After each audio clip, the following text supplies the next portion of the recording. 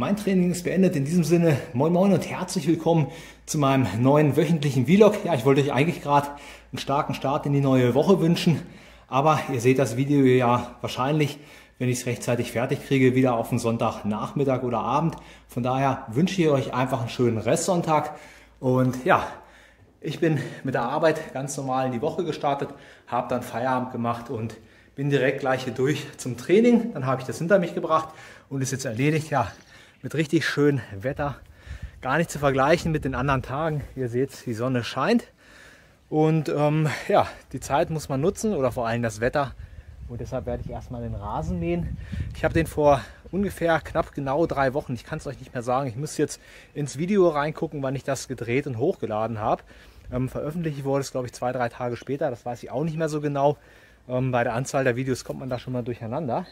Aber gute drei Wochen ist es her und ähm, ja, so sieht der Rasen aus. Schaut mal, der ist wirklich relativ schön grün geworden. Ich weiß nicht, wie man sieht, hier ist so ein bisschen gelblich noch drin.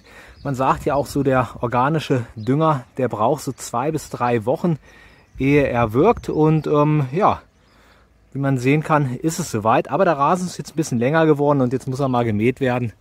Weil die anderen Tage ging das immer nicht. Wenn er nass ist und wenn es geregnet hat, ja, dann kannst du das vergessen.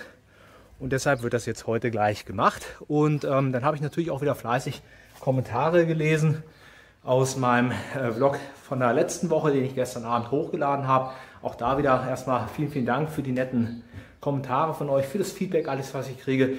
Äh, viele von euch haben sich den Vlog sogar komplett angeschaut, obwohl er eine Dreiviertelstunde ging. Ich dachte schon bei dem ersten, der ging, glaube ich, so leicht über 30 Minuten, dachte ich schon, oh je, das ist viel zu lang, das guckt sich wahrscheinlich gar keiner an, aber ihr seid so verrückt und habt euch jetzt auch den 45-minütigen Vlog angeguckt. Ich versuche es natürlich ein bisschen kürzer zu halten. Ich möchte euch auch nicht ganz so viel Zeit stehlen. Und ich versuche auch inhaltlich jetzt immer mal ein bisschen was mit reinzubringen. Äh, ja, so ein paar Tipps auch über den Garten. Ähm, auch so aktuelle Sachen einfach ansprechen, so als Reminder, Erinnerung etc. Ähm, das habe ich auch aus dem Feedback mitgenommen bei den Kommentaren, dass ihr das ganz gern möchtet. Und ähm, das finde ich auch selber gut so. Ähm, bin ich von selbst nur leider nicht drauf gekommen, aber dafür seid ihr ja da. Das ist immer gut. Ich bin wirklich für Kritik, Feedback, für Verbesserungen, alles immer gern zu haben. Und ähm, deshalb mache ich das dann auch gern und setze es auch gern für euch um. Ja, ich muss jetzt erstmal einen kleinen Happen essen nach dem Training und dann geht es auch gleich raus hier bei dem schicken Wetter und dann wird der Rasen gemäht.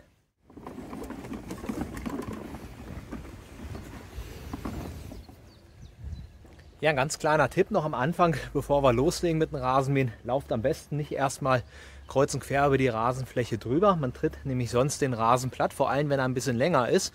Und an den Stellen, wo man dann immer überall rübergelaufen ist, da hat der Rasenmäher stellenweise Probleme, den Rasen richtig sauber abzumähen. Man hat dann kein schönes ja, Mähbild oder keinen schön gemähten Rasen. Das Ganze sieht ungleichmäßig aus. Ähm, die Rasenhalme brechen dann auch oder wenn es ein bisschen feucht ist, werden auch einfach platt gedrückt, werden in den Boden reingedrückt. Deshalb am besten wirklich nur direkt so hinter dem Rasenmäher herlaufen. Nicht jetzt auch zu sehen, dass man irgendwo daneben tritt. Ihr könnt es sehen, hier ist immer so ein kleiner Trampelpfad, wo ich lang gehe. Und da ist der Rasen halt schon relativ platt. Ich drehe mich mal so mit der Kamera. Hier zum Beispiel ist alles platt getreten und hier halt nicht. Und das heißt, hier kann man dann auch einfach besser abmähen. Ja, dann legen wir mal los.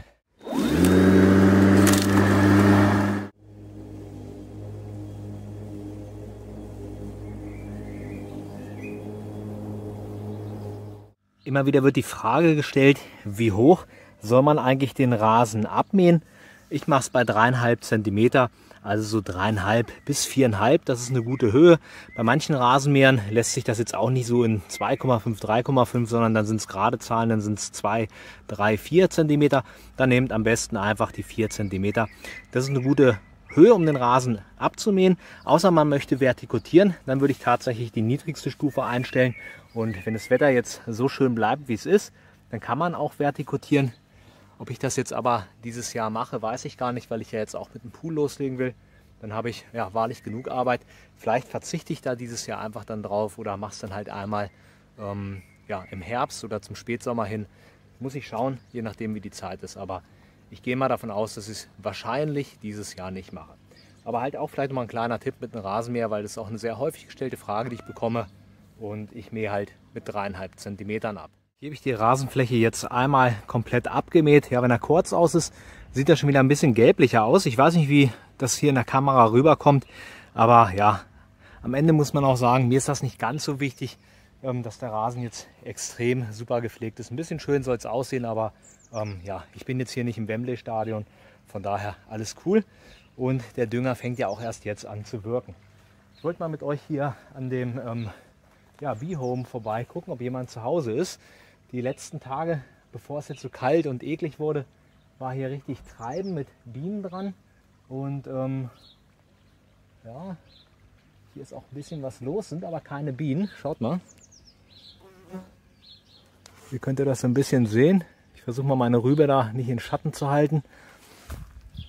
Aber eine Biene habe ich jetzt noch nicht gesehen. Aber vor ein, anderthalb Wochen war hier richtig was los mit den Bienen. Ähm, ja, das Bee-Home selber sieht jetzt gar nicht mehr so schick aus, muss man ehrlicherweise gestehen. Das hat jetzt, ist jetzt ein Jahr alt und ist doch schon relativ mitgenommen. Hier den Witterung aber auch ausgesetzt gewesen, wenn man vielleicht irgendwie so ein Dachunterstand hätte. Jetzt nicht wie ich jetzt hier so direkt unterm Baum, würde es vielleicht noch ein bisschen besser aussehen. Gucken wir mal hier zu den Kartoffeln, was die machen. Die hatte ich ja am letzten äh, Vlog eingepflanzt. Ich glaube, Donnerstag war das oder so. Ich weiß es nicht mehr genau. Hier sind sie, haben wir jetzt ein bisschen Schatten. Ja, hier keimt die Kartoffel jetzt schon wieder ein bisschen hoch, aber das reicht noch nicht, um jetzt wieder ähm, die Erde aufzuschütten. Einer hat auch, glaube ich, reingeschrieben, er hätte den äh, Eimer komplett voll gemacht. Ist auch richtig, das kommt auch, nur nach und nach. Je höher ähm, die Kartoffelpflanze an sich wächst, umso mehr schichte ich dann immer auf, bis wir halt hier oben dann irgendwann angekommen sind. Ne, so ein bisschen Resterde habe ich hier noch liegen. Die wird dann halt auch verwendet. So, eine Rasenfläche muss jetzt noch gemäht werden, die ist aber schon im Schatten. Da ziehe ich mir das T-Shirt auf jeden Fall wieder über. Aber so ein bisschen Vitamin D wollte ich schon mal tanken. Kann man auch schon mal so ein bisschen vorbräuen für den Sommer. Und ähm, ja, da hinten an der anderen Rasenfläche mähe ich jetzt noch ab und dann werde ich auch Feierabend machen. Dann reicht es hin für heute.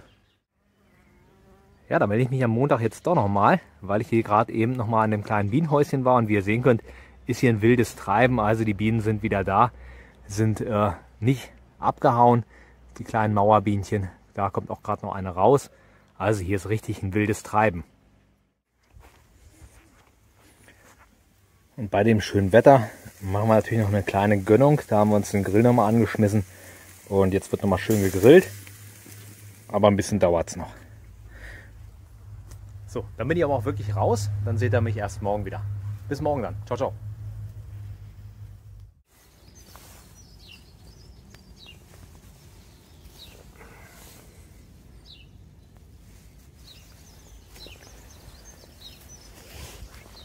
Nächster Tag, heute ist Dienstag. Ja, und bevor es für mich dann äh, gleich zur Arbeit geht, mache ich jetzt hier noch ein bisschen im Garten. Es ist trocken, es ist zwar kalt, aber das ist ganz angenehm. Und ich mache das kleine Beet hier jetzt sauber, hole das ganze Unkraut raus. Das war wirklich sehr, sehr voll. Und ähm, hier habe ich, ähm, zeige ich euch kurz, vielleicht kennt ihr das auch schon aus dem Video, ähm, Safran angebaut. Hier könnt ihr noch die Reste jetzt sehen. Das bleibt so ja, bis Mai, Juni noch. Dann wird es immer gelber, vertrocknet und die Nährstoffe hier aus den restlichen Grün ziehen sich dann zurück in die Zwiebeln. Und dann ist das Beet im Prinzip frei, dass ich hier andere Sachen auch pflanzen kann, zum Beispiel Paprika oder Bohnen. Und wenn ich die dann abgeerntet habe, dann kommen auch unsere Krokusse, also unser Safran dann wieder. Und den kann ich dann so im Oktober, November rum auch ernten. Also es bietet mir die Möglichkeit, hier zweimal im Jahr was anzubauen, dieses kleine Beet. Und ähm, ja, bevor ich natürlich dann irgendwie Paprika reinpflanze, gebe ich hier nochmal ein bisschen Kompost mit rein zur Düngung, auch dass ordentlich Nährstoffe drin sind. Und wenn ich die Paprika dann rausziehe, weil abgeerntet, dann ähm, würde ich auch nochmal ein bisschen Kompost als Dünger hier reingeben. Und so geht das dann problemlos, dass man das ähm, ja, doppelt benutzt sozusagen. Was mich gerade so ein bisschen wundert und was ich hier sehe, schaut mal, hier auf der Seite sieht das irgendwie so aus, als wäre der ganze Safran, also das Blattgrün, irgendwie abgefressen oder abgeschnitten worden oder ja, als wäre ich mit einem Rasenmäher drüber gefahren. Und äh, hier sind sie noch komplett lang. Ich bin hier natürlich nicht mit einem Rasenmäher rüber gefahren und habe es auch nicht abgeschnitten. Es ist scheinbar tatsächlich so, als wenn das irgendwie, ja, vielleicht von Nagetieren oder so abgefressen wurde. Ich weiß es nicht. Auf jeden Fall ist halt der Kontrast halt sehr auffällig. Ja, hier bin ich eigentlich schon so gut wie äh, fertig, kann man sehen. Ein bisschen was habe ich rausgeholt. Ich werde das jetzt noch einmal durchhaken Und ähm, dann muss ich noch ein Video drehen. Ähm, da geht es um Kompostwasser. Ich weiß auch nicht, ob ich das jetzt heute noch mache oder morgen oder vielleicht auch übermorgen. Das äh, kann ich euch noch nicht sagen. Werdet ihr dann aber auf jeden Fall auch hier auf dem Kanal sehen. Und dann geht es auch für mich zur Arbeit. Das Einzige, was ich auf jeden Fall jetzt noch drehe, ist das Video hier für die Klamotten. Ähm, das Produktvideo, das muss ich noch machen. Und ähm, ja, dazu ist jetzt auch ideales Wetter, es ist windstill. Und damit würde ich jetzt gleich als nächstes loslegen. Zeige ich euch aber hier in dem Vlog nicht, weil das denke ich nicht so interessant ist. Aber ihr könnt das Video dann ähm, auch auf meinem YouTube-Kanal hier natürlich sehen. Als nächstes sehen wir uns dann, glaube ich, gleich auf dem Fahrrad wieder.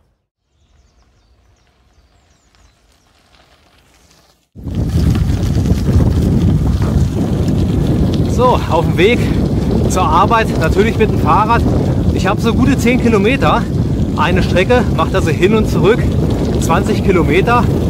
Ja, könnte ich auch mit dem Auto fahren, ist bestimmt bequemer. Aber wenn wir das mal gegenrechnen, was habe ich denn bei 10 Kilometer Strecke hin überhaupt an Zeitverlust? In meinem speziellen Fall gar nichts, weil ihr seht, ich fahre hier durch die Natur. Das ist nicht nur einfach geil, ich habe auch keinen Verkehr, ich habe keine Ampeln und da spare ich auf jeden Fall schon mal jede Menge Zeit, so dass ich mit dem Fahrrad tatsächlich fast genauso schnell bin wie mit dem Auto. Vielleicht verliere ich mal zwei oder drei Minuten, aber wenn mal Stau ist oder so, dann hole ich das auf jeden Fall wieder raus. Und ich tue was für meine Gesundheit, für meine Fitness. Auf 10 Kilometer Fahrradstrecke verbraucht man so, ja, je nachdem, auch wie es windig ist, zwischen 180 und ich sag mal 230 Kalorien, bei 10 Kilometer wohlgemerkt, hin und zurück, sind wir dann, sage ich mal, bei guten 400 Kalorien. Das ist fast eine Tafel Schokolade. Und wenn wir davon ausgehen, dass unser Auto vielleicht knapp 2 Liter Benzin verbraucht hätte bei den derzeitigen Spritpreisen, sind das auch nochmal 4 Euro, die man da einfach an Geld spart. Und deshalb gibt es für mich gar keine Alternative, außer hier mit dem Fahrrad zur Arbeit zu fahren, auch wenn es gerade anstrengend ist zu reden hier bergauf zu strampeln. Mir macht Spaß. Und ja, schreibt mal in die Kommentare, wie seid ihr unterwegs? Fahrt ihr auch mit dem Fahrrad? Ja, mit einem Auto oder vielleicht Bus und Bahn? Bei mir ist es halt auf jeden Fall das Fahrrad.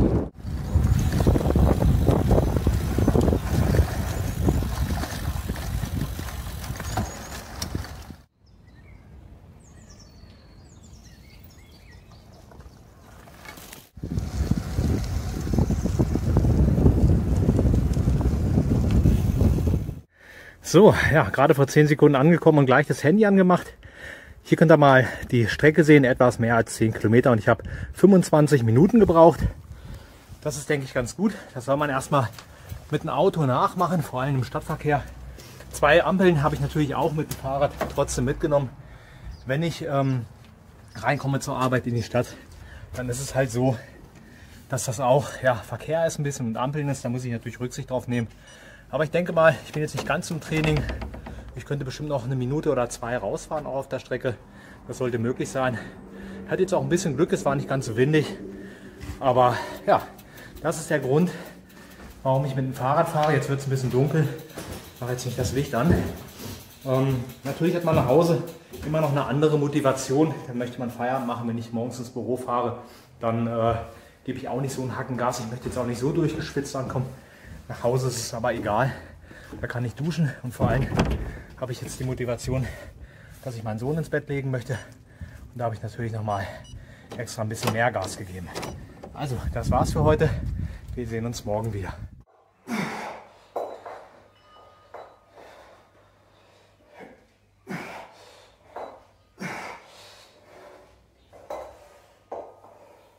Ist der nächste Tag. Wir haben Mittwoch. Ja, ich bin hier am Video drehen. Ich habe jetzt trainiert und nutze noch die Pause, bevor es gleich noch auf den Termin für die Arbeit geht und drehe zwischendurch das Video. Ich stelle Kompostwasser her. Das ist ein Flüssigdünger, der sehr gut ist für Nutzgarten, aber auch im Ziergarten zum Beispiel Rosen. Die lieben Kompostwasser. Wer seine Rosen damit ähm, düngt im Frühjahr, ja, da kriegt richtig schön eine richtig schöne Blüte. Die Rosen explodieren dann förmlich. Aber für Tomaten, Zucchini, Gurken etc., Paprika, ist das auch ein richtig toller Dünger. Ich habe sonst all die Jahre mal Brennnesseljauche genommen, werde das vielleicht dieses Jahr auch wieder machen, möchte aber auch den Kompostdünger mal ausprobieren. Und ja, wie ihr sehen könnt, drehe ich gerade dabei auch noch das Video. Und ähm, das kriegt er dann natürlich demnächst hier auf meinem YouTube-Kanal zu sehen. Ich habe das Ganze schon angesetzt. Das ist jetzt auch schon gut durchgezogen hier und wird jetzt hier einmal abgefiltert dann durch den Eimer und dann kann ich mir das entweder in einem anderen Behälter reinkippen und dort noch lagern oder halt direkt dann in die Gießkanne rein und ähm, ja jetzt vielleicht schon die Rosen mit düngen. Ähm, Tomaten oder Zucchini, Paprika etc. habe ich noch nicht ausgepflanzt. Ihr wisst ja, wir sind jetzt noch ähm, Mitte April, das ist ja viel zu früh. Also damit kann ich es noch nicht düngen. Das Gute hier bei dem Dünger im Gegensatz zur Brennnesseljauche, die ja mal ein paar Tage länger stehen muss, ihr habt da innerhalb von 24 Stunden einfach einen Dünger, den ihr verwenden könnt und das Ganze ist sogar noch kostenlos. Und ähm, ja, von daher ist es eine perfekte Alternative. Ich kaufe ohnehin ungern Dünger, auch ähm, ja, ungern jetzt einen organischen Biodünger oder so. Ähm, wenn dann ohnehin nur den für den Garten oder auch für den Nutzgarten auf jeden Fall. Da würde ich jetzt auf mineralische Dünger ver ähm, verzichten. Aber am besten finde ich immer noch selber gemacht. Und ähm, ja, Dünger wird ja auch leider einmal teurer. Und so ist es ganz gut, wenn man da eine richtig gute kostenlose Alternative hat. Nächster Tag, heute ist Donnerstag und ja, ich mache mir die Finger wieder dreckig. Bin wieder draußen im Garten nach Feierabend und ähm, ja, ich bereite hier das Frühbeet ein bisschen vor. Ihr könnt sehen, etwas habe ich hier schon gemacht. Und ähm, ja, es ist ordentlich voll mit Unkraut. Bald ist nämlich der Salat soweit, den ich angebaut habe, der Eisbergsalat, dass er raus kann. Ähm, ich hätte vielleicht auch schon früher mit loslegen können, habe aber einfach ihn nicht rechtzeitig vorgezogen und den möchte ich ganz gern hier in dem Frühbeet anbauen. Das ist eigentlich immer so mein Salatbeet. Das mache ich jedes Jahr so. Und ja, erstmal muss es natürlich hier einmal richtig schön sauber gemacht werden. Das ganze Unkraut muss raus und dann kann in den nächsten Tagen der Salat hier dann auch einziehen.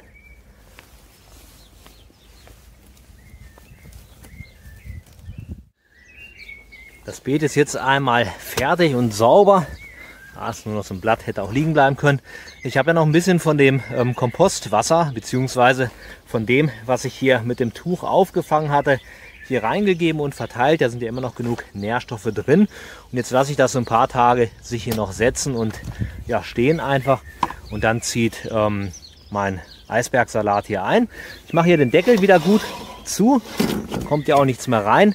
So ein Frühbeet ist ohnehin immer ganz gut für Salat, wie ich finde, weil ähm, ich kann halt den Deckel drauf machen, solange die Pflanzen noch klein sind, habe dann auch kaum Probleme oder keine Probleme mit Schnecken. Ohnehin habe ich mit Schnecken nie Probleme. Dazu habe ich aber auch schon mal zwei oder drei, ich glaube sogar vier Videos gemacht. Ähm, ich mache das mit Kaffeesatz meistens, weil ich den hier immer großzügig seit Jahren schon, seit über zehn Jahren im Garten verteile, habe ich scheinbar einfach keine Probleme damit. Wenn man das ein oder zwei Jahre macht, wenn man starke Probleme mit Schnecken hat, dann wird man natürlich nie sofort eine Lösung ähm, haben und die Schnecken loswerden. Aber wenn ihr das über Jahre macht, dann ist es bei mir jedenfalls so, dass ich keine Probleme habe. Und hier mit dem Frühbeet bin ich ohnehin so ein bisschen geschützt. Da kann ich erstmal einen Deckel drauf machen. Dann kann da nichts passieren. Klar, wenn nachher ähm, der Salat zu groß wird, geht der Deckel auch ab. Aber ähm, ja, ich habe ohnehin erstmal, wie gesagt, keine Probleme mit den Schnecken. Ja, am Frühbeet ist auch immer ganz gut, weil es natürlich dann zum Frühjahr auch immer noch etwas wärmer da drin ist. Ne, wenn ich jetzt hier die Sonne gleich rumkommt und drauf scheint, dann erhitzt sich das Ganze, weil das alles so ein bisschen eingepackt ist und ein Deckel drauf ist, bleibt das dann auch länger ähm, warm soweit. Ja, das war es jetzt erstmal im Garten. Ich räume jetzt hier noch so ein bisschen auf und dann schauen wir mal weiter. Heute haben wir Freitag, Karfreitag. Ja, und ich stand ja am Montag hier und hatte überlegt, wie ich euch begrüße. Ich hätte euch natürlich frohe Ostern wünschen können, denn das Video soll ja an einem Sonntag rauskommen, so ist es zumindest geplant. Ähm, ja, also an der Stelle, falls ihr noch guckt und das Video auf den Sonntag seht oder vielleicht auch auf den Montag, das ist ja auch noch Ostern, wünsche ich euch natürlich frohe Ostern. Ja, für mich am Karfreitag liegt jetzt erstmal das Training an. Wir haben es Freitag relativ früh noch, wir haben es jetzt um die 7 Uhr, ich glaube kurz vor 7, ähm, müsste ich lügen. Oh, no. Genau, so ist es. Und ähm, ja, da geht es los mit dem Training. Und dann werde ich nachher noch versuchen, wenn das Wetter auch hält, ähm, das Hochbeet, das letzte verbleibende aufzubauen. Darüber möchte ich ja dann auch noch ein Video machen, dass ich das hochladen kann. Dann habt ihr sozusagen, wenn ihr euch mal ein ähnliches Hochbeet oder vielleicht auch das gleiche kauft, eine Videoanleitung, ähm, wie das Hochbeet aufzubauen geht. Dann braucht ihr das nicht ähm, ja, mit der Papieranleitung zu machen. Ich finde es immer einfacher, wenn man es vorher schon mal gesehen hat. Dann kann man sich auch vorher schon mal angucken, bevor man es vielleicht geliefert kriegt oder ob man es überhaupt haben will. Man sieht es ja dann auch in echt. Hier könnt ihr sie nochmal sehen, die drei Hochbeete. Stehen jetzt noch nicht ganz gerade. Von der Seite geht es schon so ein bisschen, aber wenn wir hier mal gucken, dann äh, ja, sieht das alles noch ein bisschen krumm und schief aus. Hintergrund ist, weil hier der Boden natürlich nicht gerade ist. Ihr könnt auch sehen, hier läuft noch so eine Beetumrandung, da stehen die halb drauf. Die geht dann hier noch so rund und kommt da hinten wieder zurück. Aber wir werden ja genug Erde haben, die wir jetzt hier dann wieder aufschmeißen können und den Boden dann gerade machen können. Und dann sollten auch nachher hier die Hochbeete gerade stehen, sodass das jetzt hier, sage ich mal, nicht kippelt. Ich hatte jetzt hier ja auch noch so einen Stock mal drunter gelegt, einfach nur mal um zu sehen, wie es aussieht. Aber ähm, ja, der Boden ist halt alles andere als gerade. Aus dem Grund steht natürlich das Hochbeet dann auch schief. Aber das sollte hinterher dann nicht mehr der Fall sein. Und ähm, ja, so sieht es aus. Das ist der Plan für heute, für den Karfreitag. Und ich werde jetzt erstmal mit dem Training starten.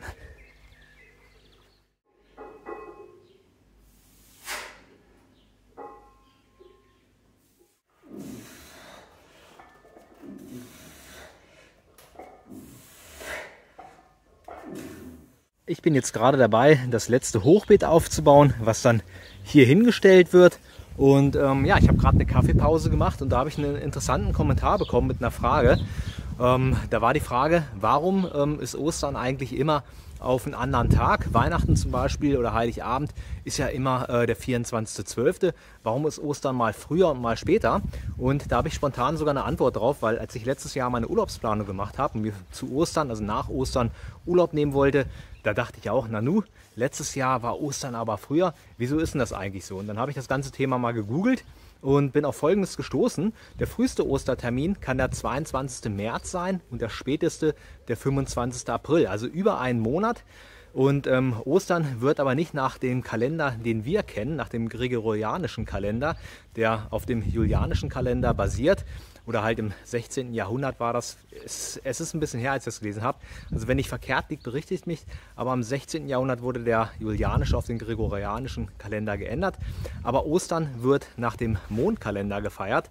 Und Ostern ist immer nach dem, oder es muss erstmal der erste Vollmond kommen im Frühling und der erste Sonntag danach, das ist dann Ostern und da wird Ostern gefeiert.